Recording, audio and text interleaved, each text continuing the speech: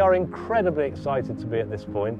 It's effectively the end of the beginning. I am so excited to be here at this symbolic turning of the sod ceremony as we begin our Big Build project.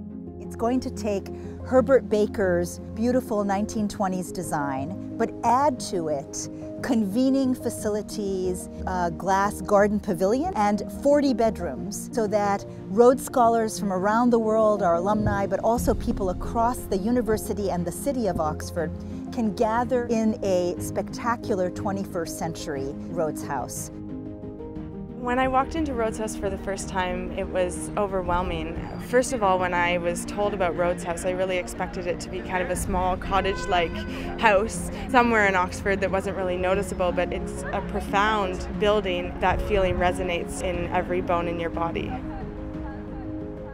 And so, what Rhodes really does is provide that kind of very unique setting where one can interact with their fellow peers um, and learn from one another. But I think it's unique to have all that centralized in, in, in a physical location um, that really encourages students to, to take advantage of those opportunities. Not just for Rhodes Scholars, but to include the wider Oxford community, just to have people come in and to share. And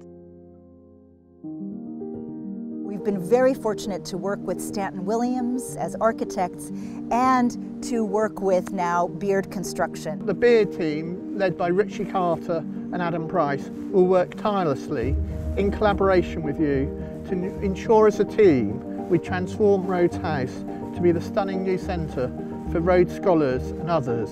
We can't wait to welcome you to the transformed Rhodes House and all of the good that this transformed building will mean for our community and for the broader community of Oxford.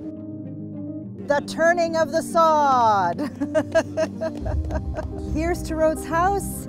Here's to our partnership with Beard Construction, Stanton Williams, to all who've made this possible, our trustees, our benefactors, Atlantic Philanthropies and others, and to the broader Rhodes community and Oxford communities. Cheers to Rhodes House.